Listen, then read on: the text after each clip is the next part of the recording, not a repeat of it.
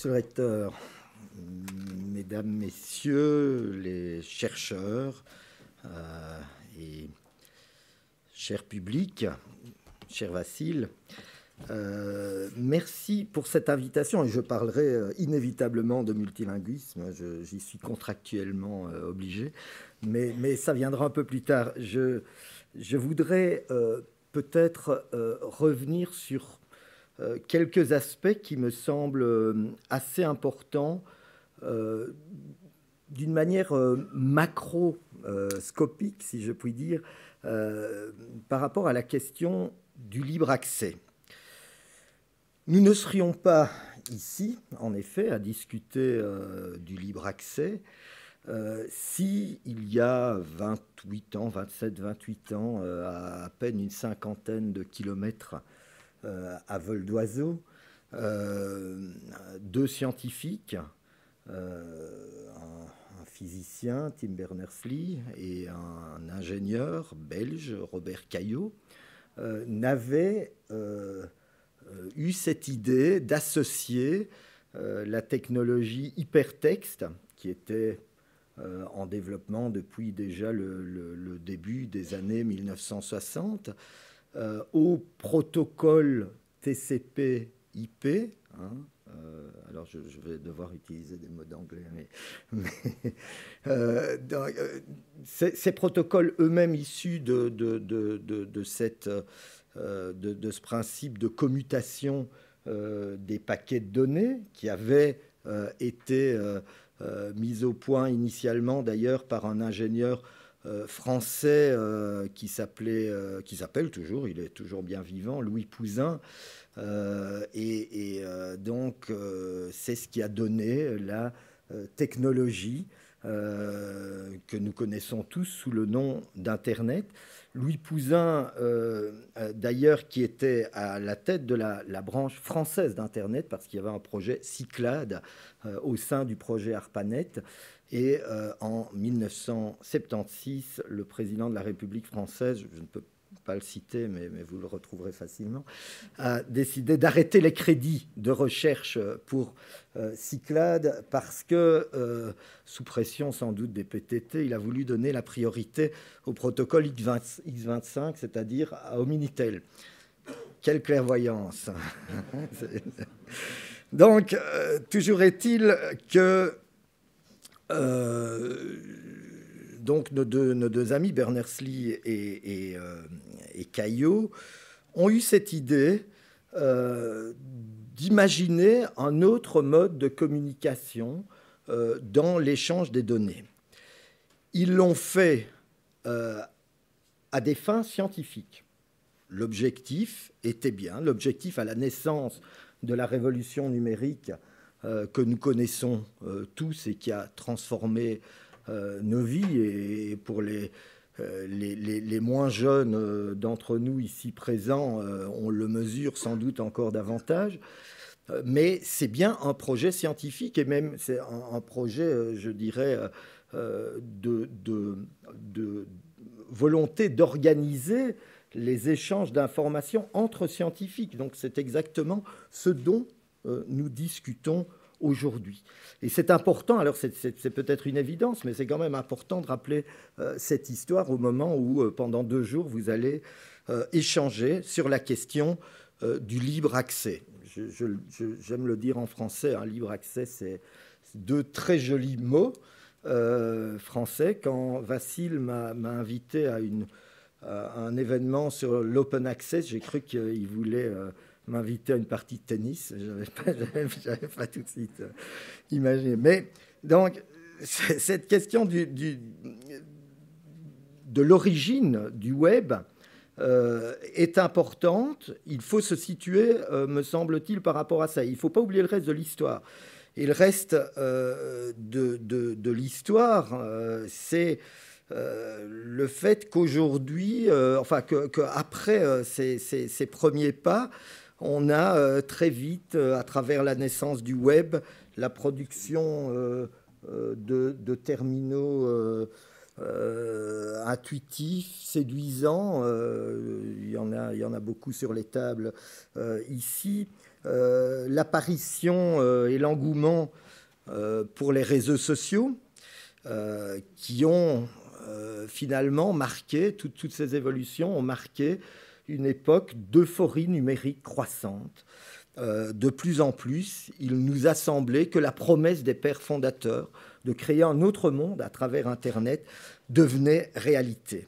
Ces fondateurs historiques, d'ailleurs, réunis au sein d'un certain nombre de sociétés, savantes dans certains cas, euh, plus économiques dans d'autres, je pense notamment à ITF, ont continué à défendre l'utopie du net, sincèrement convaincus pour la plupart que euh, l'Internet allait changer le monde pour le meilleur. Prônant un certain libertarisme, craignant le contrôle étatique des contenus échangés sur Internet, ils se sont opposés à toute forme de régulation. Et les entreprises de la Silicon Valley, euh, ce qu'on appelle aujourd'hui le GAFA ou le GAFAM, quand on ajoute Microsoft, leur ont emboîté le pas en promouvant un modèle de multipartisme, ce que l'on appelle en, globish multi-stakeholderism, euh, parce qu'ils considèrent que les développeurs, euh, l'industrie, les utilisateurs et les États sont tous équivalents et doivent être euh, associés sur le même pied, finalement, pour déterminer la gouvernance de l'Internet. Ça aboutit à une formule de neutralisation des acteurs euh, qui euh, des acteurs représentatifs en tout cas, euh, notamment pour les démocraties, il n'y a pas que des démocraties, mais pour les États démocratiques, ceux qui sont élus par, par le peuple, et qui a empêché cette neutralisation toute régulation, qui a permis donc le développement de monopoles sans limite, dont le pouvoir économique et euh, d'ailleurs aussi, euh, il faut bien le dire, le pouvoir politique, dans les faits, dépasse souvent celui de la puissance publique. Les pères fondateurs d'Internet n'imaginaient sans doute pas que la nouvelle société numérique qu'ils appelaient de leur vœu et qu'ils pensaient faire advenir verrait l'industrie s'entendre avec les composantes les plus sécuritaires de l'État-nation pour mettre en place le plus grand dispositif de surveillance individuel jamais conçu, au-delà même des projections les plus folles de George Orwell.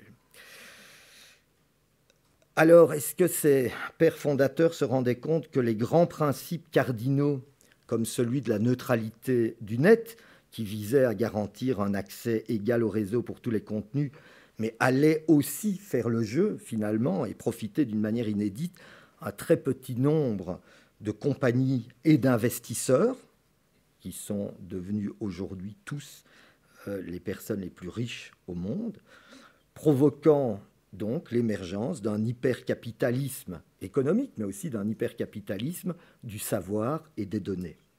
Mesuraient-ils les pères fondateurs que l'absence de règles communes allait encourager certaines puissances à développer leur propre substrat entrepreneurial?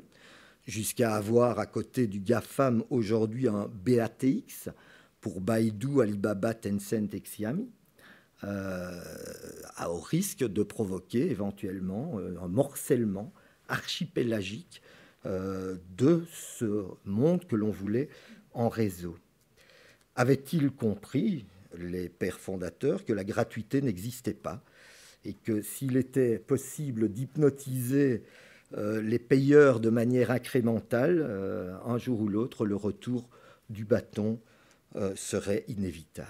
Et c'est là, c'est dans ce moment, après l'euphorie digitale, que nous en sommes.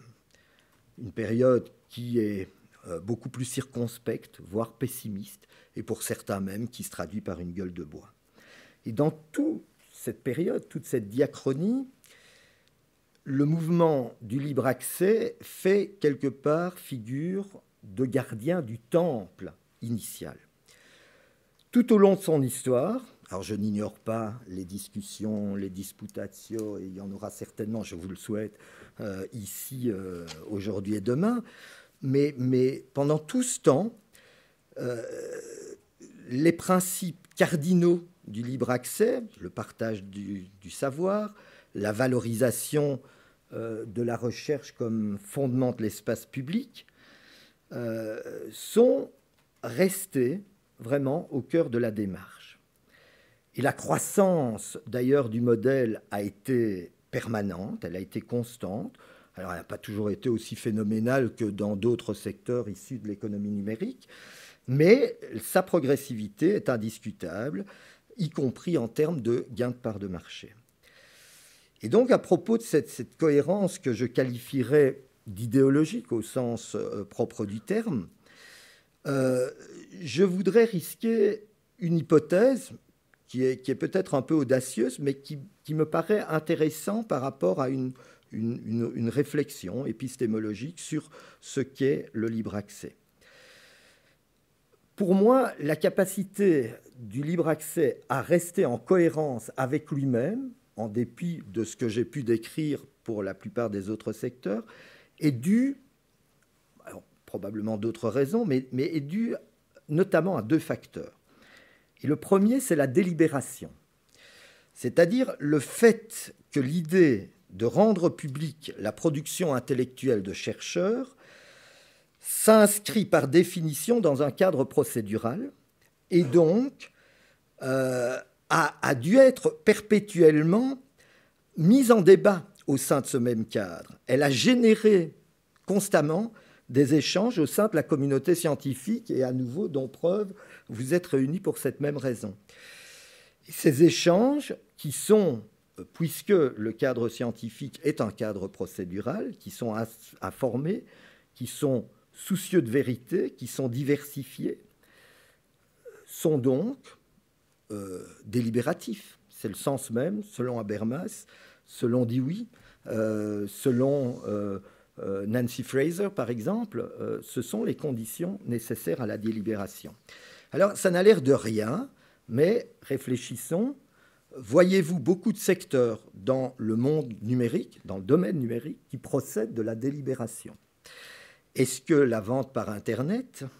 Est-ce que les réseaux sociaux? Est-ce que le data mining euh, procède aujourd'hui? Est-ce que leur logiciel, si je puis dire, euh, est basé sur la délibération? Et donc, toute l'histoire d'Internet est marquée par la volonté d'une extension quantitative euh, du domaine de l'information, mais jamais d'une évolution de sa dimension qualitative, à l'exception de ce que vous faites, à l'exception du libre accès. L'autre facteur, me semble-t-il, qui a joué un rôle important, c'est la place que prend de manière explicite l'argent public dans la production scientifique et donc dans le modèle économique de la publication en libre accès. L'argent public n'est pas bien sûr absent de l'industrie euh, numérique en général. Il est d'ailleurs le résultat, je l'ai rappelé tout à l'heure, d'investissements publics au départ mais ça apparaît peu. On, a oublié euh, cette origine, on n'identifie pas bien euh, la commande publique ou la part de la commande publique dans, dans, ce qui devient finalement des gains privés. On tait les aides d'État, qui sont pourtant une réalité. Euh, L'Organisation mondiale du commerce a le plus grand mal à arriver à, se mettre d'accord sur une, régulation des échanges électroniques, enfin des, aspects économiques des échanges électroniques. Et on a aussi beaucoup de mal à identifier les bénéfices, les gains tirés de la dérégulation fiscale. Donc la partie publique du financement de l'Internet en général n'apparaît pas, sauf dans le domaine, encore une fois, du libre accès, où l'argent public est assumé, il est valorisé, et bon, j'imagine que vous regrettez euh, vous aussi qu'il n'y en ait pas assez, mais ça c'est un autre débat. Par contre, la, toile de fond qui veut que cet argent public soit assumé euh, a pour conséquence, me semble-t-il, qu'on ne fait pas l'impasse sur la notion de bien commun, puisque ce que l'on gère tous à travers le libre accès, c'est aussi pour une bonne part euh, cet argent qui est issu de la communauté. Donc, à travers le libre accès, la, science à l'ère numérique, à l'ère globale, a toujours bien, me semble-t-il, une conscience. Mais il serait dangereux de, se reposer sur ses lauriers et de considérer cet acquis comme définitif et comme pérenne. Euh, on peut penser que, l'épopée du Far West digital euh, qui euh, produit les excès que l'on constate aujourd'hui n'en est qu'à ses débuts. Et les, données, euh, la presse ne cesse de, le rappeler, s'affirment de plus en plus comme l'or euh, du XXIe siècle. Bientôt, on ne dira plus l'or, on dira les bitcoins du XXIe siècle, peut-être. Et on peut aussi redouter que la, créativité mise au service de la financiarisation de la connaissance, comme elle l'a fait de l'industrie manufacturière et d'une série d'autres domaines, euh, reste sans limite. Donc, je pense qu'il est important de préserver, de consolider toujours davantage euh, les enjeux fondamentaux, les valeurs, le socle de valeurs euh, de l'open access, je l'ai dit, du, libre accès. Et donc, permettez-moi une, recommandation, une piste qui est celle de la gouvernance internationale. Puisque nous sommes entrés de plein pied à travers toute cette histoire dans un, monde numérique qui est aussi un monde globalisé dans lequel la norme euh, euh, internationale prend de plus en plus de place dans tous les domaines. Ça doit être aussi, ça peut être aussi le cas euh, pour ce qui concerne la science et pour ce qui concerne la manière dont la science est communiquée et mise en accès libre. Et donc, il faut penser, me semble-t-il, peut-être, à un grand traité international en matière de libre accès. Il y a des travaux préliminaires qui se sont tenus à l'UNESCO euh, dans euh, l'objectif notamment, ça a commencé simplement par la volonté de l'UNESCO de savoir comment euh, elle pouvait elle-même mettre à disposition ses propres contenus en, libre accès. Et puis ça a entraîné une certaine réflexion qui a été menée d'ailleurs pour ceux d'entre vous qui, fréquentent euh, les Nations Unies à Genève par l'ambassadeur Karklins, qui est l'ambassadeur de Lettonie, qui est, un, qui est, qui est euh, euh, membre du, du, conseil de gouvernance du Forum sur la gouvernance de l'Internet. Donc il y, a tout ce travail. Il y a un travail qui, est mené, qui commence à être mené aussi au sein de l'Organisation mondiale de la propriété intellectuelle, euh, l'agence universitaire de la francophonie, pour euh, prêcher pour ma paroisse, a elle aussi pris un certain nombre euh, d'initiatives en la matière, à nouveau en mettant à disposition la, production scientifique de ses membres, à travers notamment une plateforme qui s'appelle euh, ID9, mais aussi en développant, notamment avec le CNRS en France, euh, à la fois pour l'Afrique et l'océan Indien d'une part et d'autre part pour le Moyen-Orient, des HAL, hein, vous savez, ces, hyper-articles euh, libres, qui, sont vraiment dédiés à la coopération scientifique francophone de manière internationale. Mais avec aussi cette réflexion sur comment peut-on à un moment donné, euh, tenter de, consolider euh, l'acquis normatif produit par la communauté scientifique. Voilà, donc pour terminer, puisque euh, Vassil vous l'avait promis, je vais vous dire un mot quand même du multilinguisme, qui est un sujet absolument décisif. Il, est, décisif parce que il est le garant de l'universalité de la norme. Aujourd'hui, euh, le débat n'est pas un débat culturel autour des langues, du français, mais pas seulement le français, et pas seulement les six langues officielles des Nations Unies. Vous savez, euh, la, communauté scientifique, tout comme la communauté internationale, fonctionne de plus en plus de manière monolinguistique euh, autour, non pas réellement d'ailleurs de l'anglais, mais plutôt du globish. Cette, situation, non seulement appauvrit une série de contenus, et là je pense que sur le plan scientifique, vous devriez être sensible aussi parce qu'il y a quantité d'études, notamment dans le domaine des neurosciences, qui montrent que la profondeur euh, du, travail par des scientifiques non anglophones en anglais n'est pas identique à ce qu'ils arrivent à atteindre quand ils manient leur propre langue.